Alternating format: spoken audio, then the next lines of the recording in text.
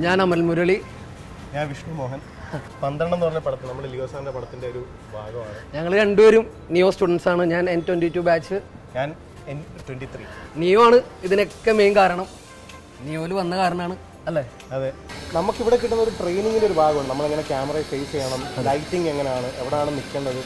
അപ്പോൾ ഈ സംഭവമൊക്കെ നമ്മൾ ഇവിടുന്ന് പഠിച്ച് പോയത് കൊണ്ട് മറ്റുള്ളവരെ വെച്ച് നോക്കുമ്പോൾ നമുക്ക് കുറച്ചുകൂടി ഈസി ആയിരുന്നു. പിന്നെ ലിയോ സാർ ലിയോ സാർ നമ്മുടെ അടുത്ത് വന്നിട്ട് ഡയറക്റ്റ്ലി വന്ന് നമ്മുടെ അടുത്ത് പറയും. "ആ, ശരിയായില്ല. നീ ഇങ്ങനെ ചെയ്യണം. കുറച്ചുകൂടെ നന്നാക്കി അടിപൊളിയായിരിക്കും എന്ന് പറയുമ്പോൾ നമുക്ക് ഇവിടുന്ന് നമ്മുടെ ഗുരുനാഥൻ തന്നെ നമ്മുടെ സിനിമയിൽ ഡയറക്ടറായിട്ട് വരിക കുറച്ചുകൂടെ ആ കുറച്ചുകൂടെ കാര്യങ്ങൾ നമുക്ക് പഠിക്കാൻ പറ്റും.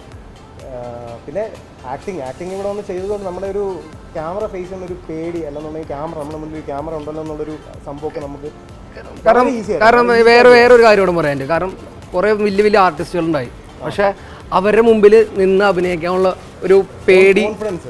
അത് പേടി എന്ന് പറഞ്ഞ സാധനം ഉണ്ടായില്ല. നമുക്ക് അവരുടെ മുമ്പിൽ കൂളായിട്ട് നിൽക്കാനും പറ്റി. അത് ഇവിടെ ആക്ടിംഗ് എന്ന് പറയുന്ന പോലെ ആ കോൺഫിഡൻസ് ആണ് നമുക്ക് ശരിക്കും ഇവിടുന്ന് കിട്ടിയത്.